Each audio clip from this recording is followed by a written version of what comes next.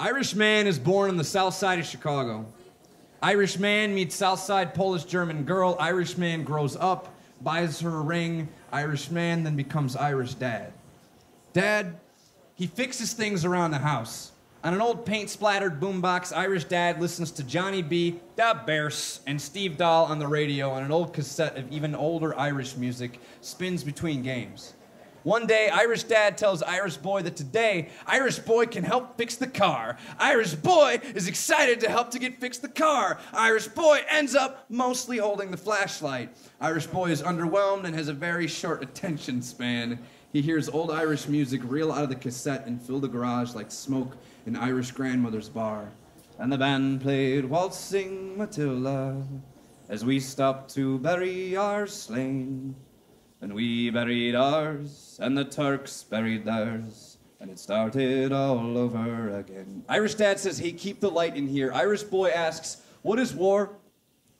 Irish boy asks, Why did they stop for their friends but then go back to fighting? Irish boy asks, What's a turkey shell? Irish dad puts down the socket wrench. And then a big Turkish shell knocked me arse overhead.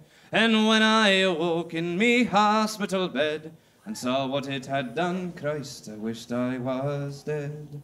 Never knew there were worse things than dying. Irish boy asks, What's worse than dying? Irish dad says, Son, he says, War is a terrible thing. It is a special kind of hell. It makes boys shoot guns at other boys even if they don't want to. Irish boy is sad and confused, but why do they do it if they don't want to? Irish dad says sometimes they have to, sometimes grown ups tell them to, sometimes I don't know.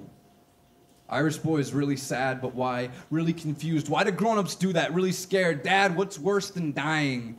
The more I'll go waltzing Matilda to the green bushes so far and near. For to hang tent and pegs, a man needs two legs. No more waltzing Matilda for me. Irish dad says love is the most important. When it's taken away, a big part of you is taken away, a part you need. And sometimes just sadness fills up what was there. Irish boy is quiet. Irish dad is quiet.